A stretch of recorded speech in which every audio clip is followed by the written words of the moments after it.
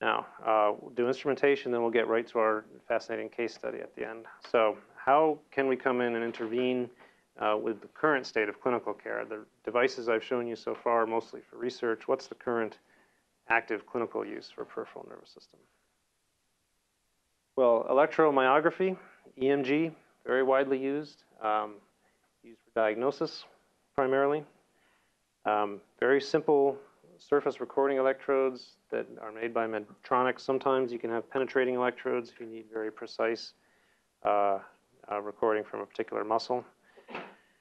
Um, but you can, for example, there's a nerve, the median nerve, which runs down the arm. This is what's uh, frequently damaged in carpal tunnel syndrome. There's a little tunnel of, that runs through fibrous tissue in the wrist called the carpal tunnel, and the median nerve can be disrupted in that.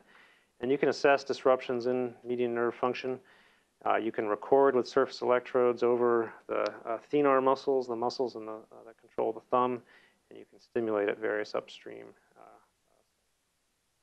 and you can measure the latency and the amplitude of the muscle response. And that's incredibly helpful. Let's go back to Guillain-Barré. What do you see if you do that? Well, uh, what you can do is measure things like the distal latency, the latency to recording that uh, electrical response in the uh, muscle of the thumb. And you can also measure the amplitude of the compound muscle action potential, CMAP. And this is what it normally looks like, and also after recovery, you get, uh, there's a short latency, 4.9 milliseconds to the onset of this muscle action potential. Uh, and in acute Guillain-Barré, you actually get a much greater distal latency, and the amplitude of the resulting action potential is spread out and uh, reduced amplitude. Okay. So this is characteristic of the demyelination that happens in Guillain-Barré. You've got reduced myelin, you've got slower conduction. It's highly variable. It's not that the muscle itself is damaged. So one question is, well, you know, why is the muscle action potential lower? Well, the answer is it's involved. It's kind of like a pull of all the muscles. First of all, some of them are not getting their spikes at all because the spike has, has failed and died out, but also because there's highly variable conduction now among all the different axons that subserve the muscle. You've spread out the action potential. The spikes are arriving at different times, and the net amplitude at any at the peak uh, is reduced for that reason. This is a characteristic pattern for a peripheral nervous system demyelinating disorder uh, increased distal latency, reduced compound muscle action. Now, um, that's what you know we can see for pure demyelination, Guillain-Barré, decreased conduction velocity, decreased compound muscle action potential, increased distal latency. See something totally different with upper motor neurons, like a stroke. Everything's completely normal. Okay, so this can really help. Someone comes in with uh, uh, weakness, you do the EMG studies, and it's completely normal, that turns your attention to the central nervous system. What's going on uh, centrally that could be wrong?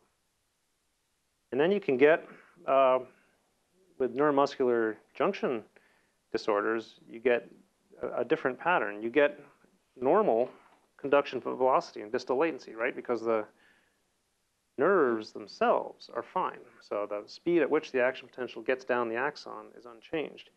But then things right at the muscle are altered. You got impaired release uh, of neurotransmitter or impaired acetylcholine action, and you have reduced uh, uh, muscle action potentials. Very helpful diagnostically.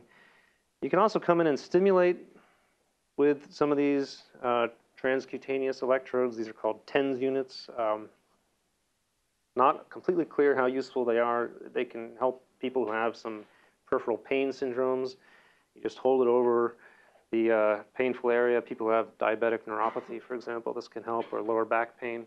Uh, some of the parameters of the pulses are shown here. Uh, it's they, not completely clear how this works. It might stimulate release of endorphins. It might effectively just distract the patient from the pain.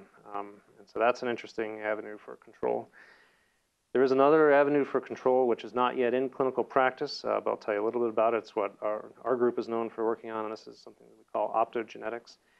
So electrodes, if you put them into neural tissue, you can't discriminate different kinds of cells. You can stimulate everything that's nearby, but you have no cell type resolution. With optogenetics, what we do is we confer light sensitivity onto neurons, which are normally not light sensitive at all. And we do that by bringing uh, light activated ion channels and pumps that we get from microbial organisms like algae that make light activated regulators of ion flow. And we put those under genetic control uh, and we introduce those into targeted neurons. And then we can bathe the whole tissue or the whole nerve in light, but only the cells that we've made light sensitive will respond. And you can turn on or turn off using uh, optogenetic exciters or inhibitors. So that uh, affords the possibility for selective control kind of cool what these uh, proteins are, are, look like. These are called opsins, and they're seven transmembrane proteins, just like G protein coupled receptors, except uh, they form a dimer. And if you turn it on its end and you look, there's actually a pore uh, through which ions can flow, and they flow in a, a light regulated way. And we've found a huge diversity of these different opsins. They respond to all different colors of light, as shown here, and they've got all kinds of kinetic properties operating from millisecond scale to 30 minutes or so, and so you can pick the one you want based on the kinetics of the sort of response you want. But the neat thing about these is it's just a single gene that controls both light sensation and ion flow, so it's very easy to deliver. Just one gene, you don't need to add chemicals.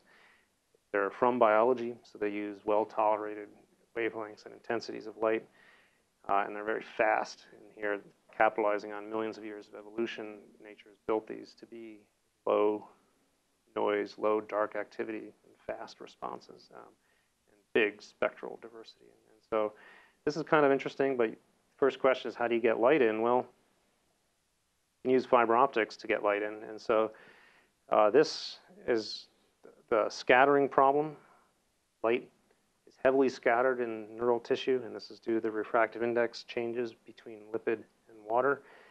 And this is, if you just focus down here, this is the drop off of light power density as a function of depth in tissue. And you're down to 1%, this is a log scale, you're down to 1% of your initial irradiance values by the time you're just one millimeter deep in tissue. So you can't just apply surface light, um, but you can put in a fiber optic. And so we built fiber optic probes. These are even thinner than the deep brain stimulation electrodes that are used in patients. They can be 200 control neural circuits with uh, very high precision. You can stick electrodes on them as well. So this is a fiber optic in cross section, 200 microns in diameter, but we've put on uh, electrodes as well so we can both record and generate a closed loop uh, stimulation device. Pretty light. They weigh less than two grams. A freely running mouse can carry them. So, and the last thing before we get uh, toward the case study, this is a very recent uh, set of work that uh, um, was initiated by uh, Scott Delp and his colleagues, and we helped out on the study.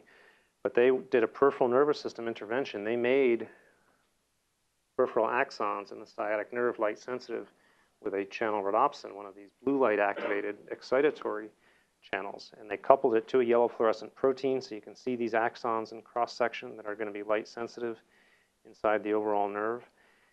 And they did some interesting studies. So they took a animal and they put a optical cuff, basically LED cuff, around the peripheral nerve. And now you can start to see how you might selectively recruit a subset of fibers within the axon if you can guide the expression of the channel rhodopsin to a subset of those cells. You just take control mice, you give an electrical stimulation, you see a nice EMG response, nice force generation by the muscle. Uh, blue light alone in control animals doesn't do anything. But then if you have these animals that have the channel rhodopsin in the peripheral nerves, you can see nice EMG responses to light and force generation response to light.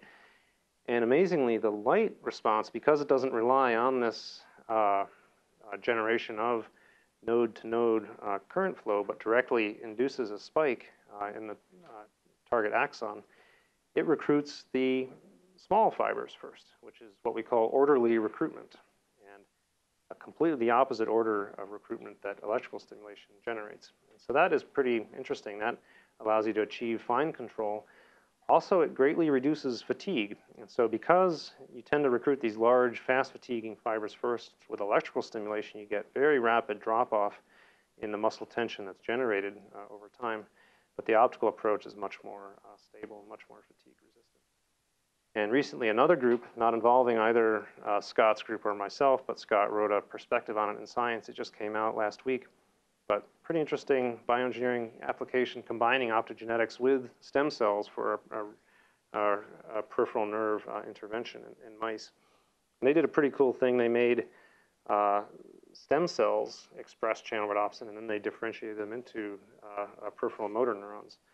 And so this is pretty cool. You can make human ES cells express uh, channel rhodopsins, and we showed that back in 2010, and you can get currents from the stem cells, and you can turn them into neurons and get action potentials, and, and that, uh, that was also shown back in 2010. What this group did just last week is they said, well, let's put in uh, these embryoid body grafts of neurons, uh, of, of, cells that have been differentiated toward the neural lineage. We're going to implant them directly into the uh, the nerve, and they're going to regrow as peripheral axons will do. Okay, so they're going to send out their nerves and innervate the target muscle. Now they won't have, since we're injecting right into the nerve, they won't have synapses. They're not going to be controlled by the brain anymore. But that's okay. We're going to control them uh, with light. So we're going to come in and put a cuff around there, and now we've got and they indeed showed that this characteristic fatigue resistant pattern compared to the fatiguing electrical stimulation. So it's a combination stem cell optogenetic uh, control tool for peripheral nervous